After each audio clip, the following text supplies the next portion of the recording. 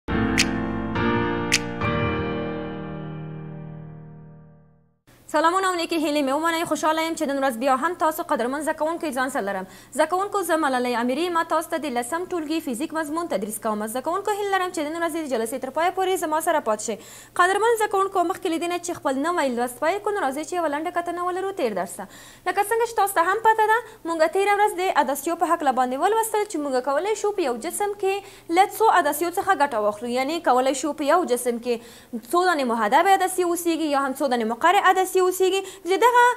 کار چې موږ اجرا کوو یا هم کله چې موږ د څو عدسیې په یو جسم کې کاروو د دې لپاره یې کاروو چې د دغه وسیلې کار توان هم چې شي زیات شي یعنې که چېرې مثلا میکروسکوپ کې مونږ له څلور عدسیو یا هم له دوو عدسیو څخه ګټه اخلو د څه لپاره ګټه اخلو ځکه چې هغه کوچینی جسم چې مونږ غواړو د هغې په واسطه باندې لوی ووینو هغه چې شي اندازه یې لویه شي او مونږ په اسانۍ باندې وکولای شو د هغې پر مخ باندې خپل تحقیقات اجرا کړو همدارنګه که چیرې موږ غواړو د تلسکوپ په مرسته باندې یو لرې جسم نږدې کړو، ویې وینو په واضح شکل باندې، نو کولی شو په تلسکوپ کې هم له څو عدسیو څخه ګټه واخلو. همدارنګه د عدسیو په معادله کې هم موږ مثالونه حل کړل، نو ځکه نو هیله لرم چې تاسو دغه مثالونه هم زده کړي وي. نو زده کوونکو نن ورځ مو هم لوست ډیر په زړه پورې ده، یعنې فزیک نه تنها د طبیعت د پیښو په هکله باندې بحث کوي، بلکې ځینې د زموږ د بدن غړي هم موږ ته کولای شي معرفي کړي لکه سترګه. زده کوونکو مخکې درسونو کې هم ما تاسو ته ویلي وو چې عدسیې نه تنها موږ په وسایلو کې ورڅخه ګټه اخلو بلکې کولای شو یا هم کیدلای شي زموږ د بدن په غړو کې هم موجود وي لکه سترګه. قدرمنو زده کوونکو د نن ورځې موضوع مو د انسان د سترګې په هکله باندې ده لکه څنګه چې تاسو په. سکرین په مخ باندې هم ګوریا چې د مونږ موضوع د بدن د یو ډیر مهم غړي په حق لباندې چې هغه هم چي ده آفرین سترګه د سترګې په حق لباندې ده نو زده کوونکو ولې موږ فزیکي سترګه وایو یا څه هم اړتیا ده فزیکي چې موږ سترګه وایو زده کوونکو د فزیک اړتیا په سترګ زمونږ په بدن بدن کې دا ده چې زمونږ سترګې یا هم د انسانانو سترګې د کومې وسیلې په مرسته باندې یا هم د کوم غړي په مرسته باندې چې انځور جوړوي یا هم مونږ خپل چار اطراف یا چاپیریال لیدلی شو د خپلو سترګو په واسطه باندې په واضح او شفاف شکل باندې د هغه د عدسیې له برکته ده یعنی عدسیې نه تنها په وسایلو کې بلکې زمونږ په سترګو کې هم چه شوي دي آفرین کارول شوي دي. لکه څنګه چې تاسو په انځور کې هم ګورئ چې آینه کې هم له څه شي څخه په کې ګټه اخیستل شوې ده؟ آفرین له عدسیو څخه. نو قدرمن زده کوونکو! وایي به چې د انسان سترګه څه رقم شکل لري؟ زده کوونکو! ظاهراً د انسان سترګې چې دي کوم شکلونه چې لري خو که چېرې مونږ سترګه په واضح شکل باندې وګورو نو د انسان سترګه کروي شکل لري. یعنې شکل یې څه ډول ده؟ آفرین کروي ده چې په د انسا نانو په سترګو کې هم له عدسیو څخه ګټه اخیستل شوې یا هم عدسیې پکې موجودې دي چې د دغه عدسیو په مرسته باندې مونږ خپل چاپیریال لیدلی شو نو د انسانانو په سترګو کې له کوم ډول عدسیو څخه ګټه اخیستل شوې ده زده کوونکو د محدب الطرفین عدسیې څخه ګټه اخیستل شوې ده لکه څنګه چې تاسو د ما په لاس کې دا عدسیه هم ګورئ قدرمنو زده کوونکو محدب الطرفین عدسیه دغه چې ده یو محدب الطرفین عدسیه ده چې زمونږ په سترګو کې هم کوم عدسیې څخه چې کارول شوې یا ګټه اخیستل شوې هغه هم کومه عدسیه ده؟ آفرین مهدب الطرفین عدسیه ده چې د مهدب الطرفین عدسیې په مرسته باندې زمونږ سترګې انځور جوړوي انځور په کومه برخه کې جوړیږي د عدسیې په مرسته د شبکه په مخ باندې یعنې شبکه یوه برخه د سترګې ده چې هغې باندې چه کیږي جوړیږي حقیقي تصویر یا هم انځور په شبکه باندې عدسیه جوړوي نو زده کوونکو سترګې نه تنها چېني کروي شکل لري بلکې نورې غړي هم په سترګو کې چېني موجود دي چې دغه اجزاوې یا هم دغه برخې لکه څنګه چې تاسو په انځور کې هم ګورئ په واضح شکل باندې چې سترګې د کومو برخو څخه جوړ شوي مثلا دغه د کسی برخه ده همدارنګه دا هم انبیه ده او دغه سپینه برخه چې ګورئ زده کوونکو یعنی زمونږ په سترګو کې کومه سپینه برخه چې ده دغه کوم په کوم نوم باندې ده سلبیه یعنی سپینه برخه د سترګو زمونږ صلبیه نومیږی همدارنګه دغه برخه یا هم د سترګو تور چی ده دغه چی ده کسه یا هم مردمک د سترګی. همدارنګه زده کوونکو د سترګی نوری برخی یا هم نوری مهمی اجزاوی چی په سترګو کی موجود وی چی مونږ کولای شو د سترګو په مرسته باندی په واضح شکل هر څه وګورو نو دغه برخی چی دی صلبیه، قرنیه، زلالیه، کسه او عدسیه. نو زده کوونکو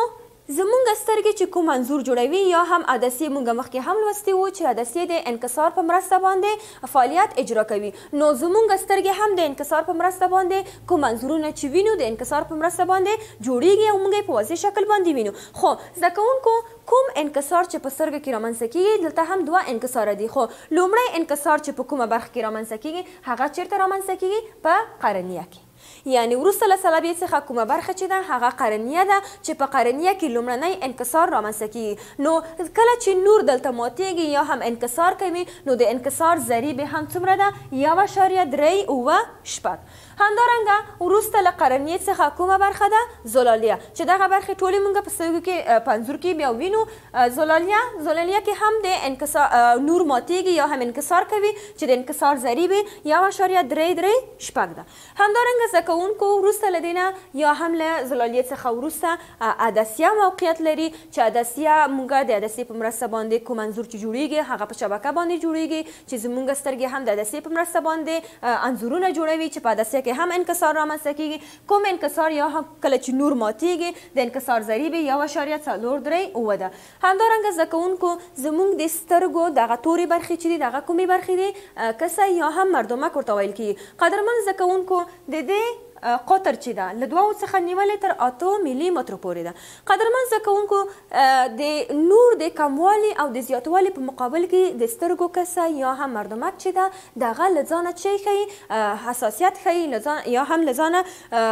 کوم عمل چي ښکاره کوي مثلا که چيري تياره وي يا هم رڼا کمه وي نو د دې قطر چي کيږي زياتيږي اما کله چي مثلا تياره کي زياتيږي او د رڼا په مقابل کي بيا قطر چه کیږي کمیږي مثلا موږ نشو کولای لمر ته په واضح شکل باندې یا هم مخامخ ورته وګورو یا هم په ځیر شو ورته ځکه چې دلته قطر کمیږي نو ځکه مونږ نشو کولای لمر ته یا هم ډیر رڼا ته په واضح شکل باندې وګورو نو ځکه د کسی قطر یا هم د مردمک د سترګې د مردمک قطر چې ده له دوه څخه نیولې تر اتو ملي مترو پورې ده چې تر دې پورې قطر زیاتیږي او کمیږي زده کوونکو کومې برخې چې مونږ د سترګو ولوستلې تاسې په دې انځور کې هم ګورئ دغه چې ده د سترګې د ننه برخه ده ګورئ سترګه تقریبا څه رقم شکل لري کروي شکل لري نو کومې برخې چې پکې موجودې دي چې دغه برخه چې ده د مردمک یا هم کسی ده همدارنګه دغه سپینې برخې چې تاسو ګورئ دغه چې ده سلبیه برخه ده همدارنګه د سلبیه څخه وروسته زجاجیه برخه همدارنګه شبکیه او عدسیه هم تاسو په دې انځور کې په واضح شکل باندې ګورئ. قدرمن زده کوونکو همدارنګه په دې انځور کې هم تاسو د عدسیې د بخښنې سره د انسان د سترګې برخې وینئ. دغه برخه چې ګورئ په سپین شکل باندې ده وروسته له مردمک څخه یا کسی څخه قرار لری چی دغه برخه هم د چه نه عدسیه ده یعنی د سترګو عدسیه وروسته د کسی څخه قرار لری چی دغه د عدسیه برخه ده چی په دی کی وروسته له دی نه شبکیه ده چی عدسیه د شبکیه په مخ باندی بیا چه جوړوی انځور حقیقی انځور جوړوی. زده کوونکو مونږ او تاسو شاهد یو یا هم وینو چې د انسانان مثلا کله چې عینک څخه استفاده کوي ولې له عینک څخه استفاده کوي ځکه قدرمن زده کوونکو چې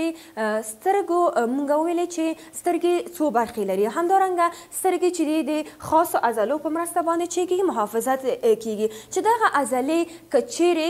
یعنې که چېرې د استراحت په حالت کې وي یعنې کېدلای شي دوه حالته ولري یو د استراحت په حالت کې وي او بل هم دې چې وي د راټول شوي په حالت کې وي مثلا که چیرې د استراحت په حالت کې وي یا هم حالت اوږد وي یا د اوږدوالي په حالت کې وي نو په دې حالت کې یا هم که چېرې راټول شوي برخه ولري، نو که چېرې د یو جس، د یو انسان سترګه همېشه عدسیه یې یا هم دغه عضلات یې د انقباض په حالت کې وي یا هم د انقباض په حالت کې وي، نو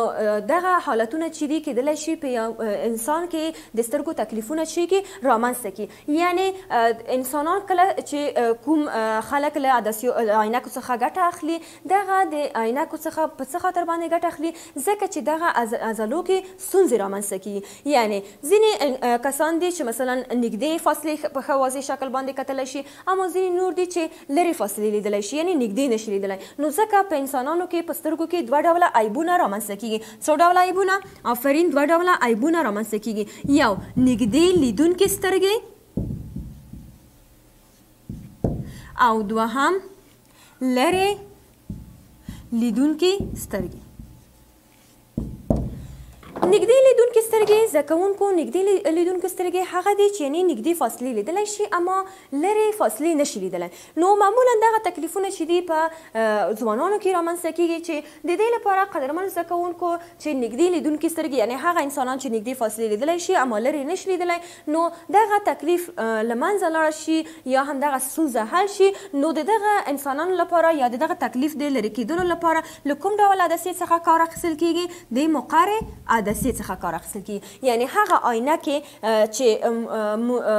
دغه کسان ورڅخه ګټه باید واخلي د هغې عدسې باید څه ډولې وي؟ مقر عدسې وي. همدارنګه دوهم لرې لیدونکې سترګې. لرې لیدونکې هغه دي چې یعنې نږدې فاصلې نه شي لیدلای په واضح شکل باندې اما لرې لیدلای شي نو دغه حالت چې ده د دې لپاره چې دغه ستونزه حمل شي چې زیاتره دغه په زړو خلکو کې رامنځته کیږي نو د دغې ستونزې د حل لپاره د کومو عینکو څخه چې باید ګټه واخیستل شي کومې عدسیې چې ولري باید هغه کومه عدسیه وي؟ محدبې عدسیې وي یعنې د محدبې عدسیې څخه په ګټه اخیستلو باندې دغه ستونزه هم چې کیږي له منځه ځي نو قدرمن زده کوونکو! نږدې لیدونکې سترګې همدارنګه لرې لیدونکې سترګې چې موږ ولوستل چې دغه د سترګو عیبونه دي یا هم کومې ستونزې چې په عدسیه کې رامنځته شي یعنی کله چې په عدسیه کې رامنځته شي د انسانانو د سترګو په عدسیه کې نو دغه تکلیفونه بیا چې کېږي رامنځته کېږي چې یا هم نږدې شان نشو لیدلی یا هم لرې شان په واضح شکل باندې نشو لیدلی نو ځکه د نږدې سترګو لید د هغه کسان چې لرې فاصلې نشي لیدلی له مقعر عدسیې څخه ګټه اخیستل کېږي او هغه چې لرې نه شي ليدلای نو د محدبې يا هم نژدې په واضح شکل باندې نه شي ليدلای د محدبې عدسې څخه ګټه اخيستل کيږي. زده کوونکو دا چې نژدې ليدونکې سترګې او لرې ليدونکې سترګې عدسې په څه حالت باندې وي نو په دې انځور کې تاسو ګورئ. ګورئ زده کوونکو دغه انځور چې ده یا همدغه سترګه دغه نورمال حالت ده یعنی کوم تکلیف پکې نه ده رامنځته شوی تاسو همدا په دې انځور کې محراقي فاصله یې هم ګورئ یا د محراق نقطه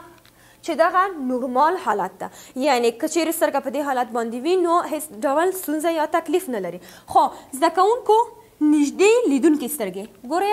کله چې سترګه په نږدې هغه شان چې نږدې وي ویني او لرې یې نشي لیدلی نو محراقي فاصله هم تاسو ګورئ چې د عدسیې چي ده کوچینی ده خو یعنې کوم انځور چې رامنځ ته کیږي په نږدې فاصله کې رامنځ ته کیږي نو ځکه هغه لرې شان نشي لیدلی نو قدرمن زده کوونکو همدا رنګه که چیرې لرې شان مونږ په واضح شکل لیدلی شو او نږدې نشو لیدلی نو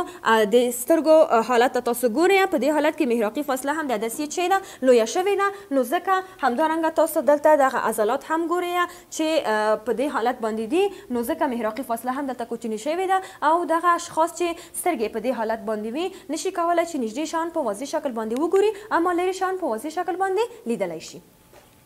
نو زده کوونکو نو د دغه تکلیفونو د له منځه تللو په خاطر باندې مونږ له څه شي څخه کټه اخلو له عینکو څخه چې هم کیدلی شي له مقرو عدسیو څخه او هم د محدب عدسیو څخه یعنی نظر په ستونزی باندی له عدسیو څخه مربوط همغه عدسی څخه ګټه اخیستل کی قدرمن زده کوونکو په همدی ترتیب باندی راورسیدو د نن ورځی د موضوع پای ته چی نن ورځی موضوع مو د انسان د سترګی په هکله باندی وه چی دا مو ولوستل چی سترګه کروی شکل لری کومی برخی چی په سترګی کی شاملی دی هغه له چی څخه عبارت وو عدسیه شبکه همدارنګه صلبیه قرنیه او زلالیه دغه برخی وی چی په حدثیه کې کوم انکسار چې رامنځته کېږي همدارنګه دې انکسار ضریب دغه مو هم ولوستل خو قدرمن زده کوونکو همدا ډول که چېرې د په د انسان په سترګه عدسیه کې کوم تکلیف چې رامنځته شي نو یا هم نږدې شیان مونږ په واضح شکل نشو لیدلی یا هم لرې نو د دغه تکلیفونو دې له منځه وړلو لپاره که چېرې مونږ نږدې شیان نشو لیدلی نو د مقعرې عدسیې څخه ګټه اخلو همدارنګه که چېرې لرې نشو لیدلی نو